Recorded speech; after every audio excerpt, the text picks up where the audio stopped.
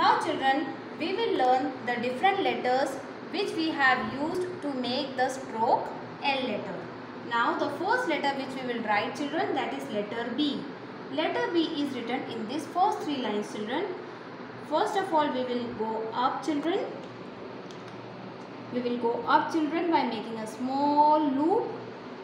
We will come down children. Make a small half curve children and again make a small loop.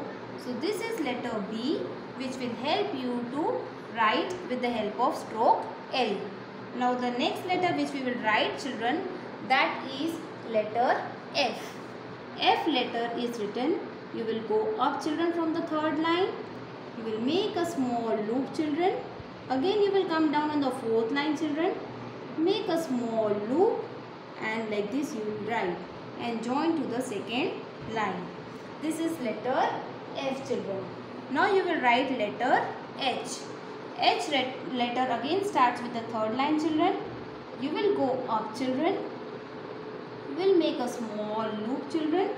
You will come here and you will draw like this half curve and again join to letter uh, line 3.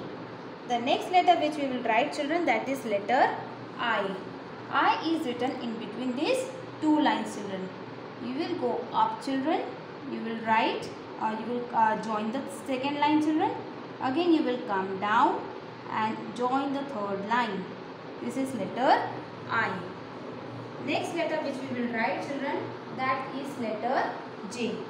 J, uh, J letter is written in between these three lines. You will go up children. You will come down to the fourth line. You will go like this and you will give a full dot on the top. This is letter J children and here you will make a small loop.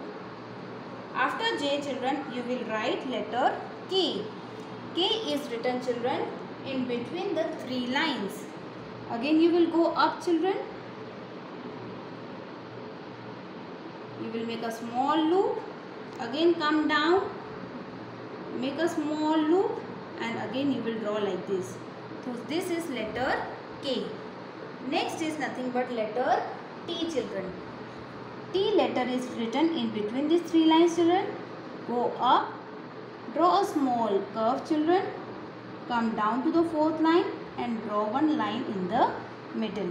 And the last letter which we will write that is children letter E. Letter E is written in between these middle two lines. We will go up children. You will come down children to the third line. Make a small curve and again join to the third line. So this is letter E. So the, how many letters are there children with the help of stroke L? Total 8 letters. B, F, H, little bit H I will make a big curve children. H, I, J, K, T we will write in first three lines children wait.